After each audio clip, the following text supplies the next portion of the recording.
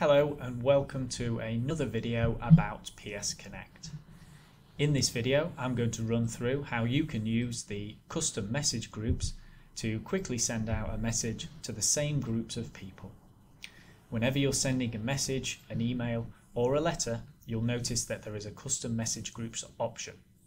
In this example I'm going to use the biology class and send them a message and this selects the same five people each time.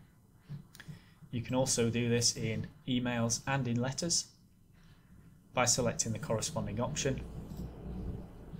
And again, if I scroll down, I'll see my biology class there with the same five people.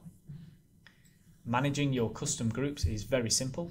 Underneath Parent Reach, you'll notice that there's an option for Group Manager. And by going into there, we'll see the existing groups and also an option to create a new group. So we'll create a new group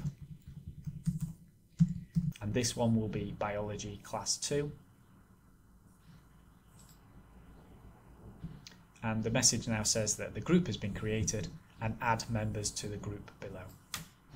So in here then what we've got is all the registration groups and we can simply click on one and tick the people that we want to select.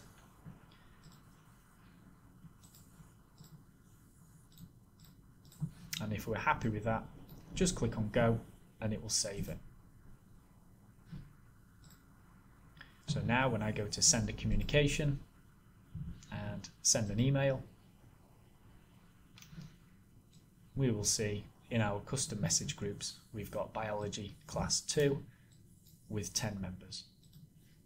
So the groups that you create can be used to send out a message, an email or a letter.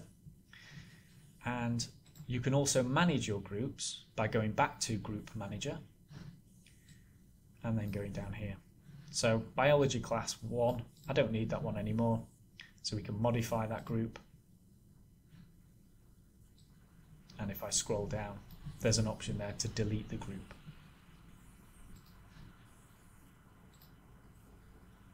and that group is now deleted. So I hope the groups has been helpful uh, in setting up. It certainly is something that will save you a lot of time when using PS Connect.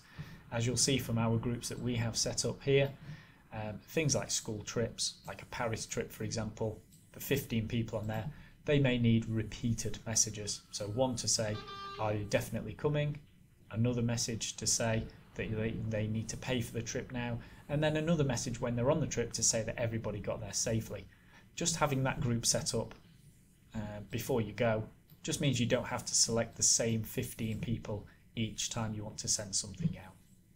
As ever, if you have any questions, uh, you can contact our help desk on 0114 225 0301 or you can email us using the email box in the help and support section.